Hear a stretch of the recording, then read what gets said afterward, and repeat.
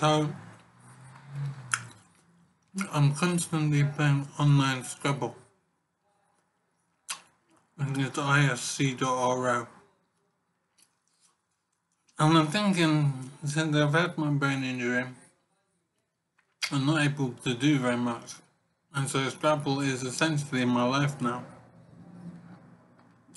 And I'm wondering if it will always be like this. And that's tragic. But at the same time, I'm enjoying it. I'm so glad that it's there. I don't know what else I would do.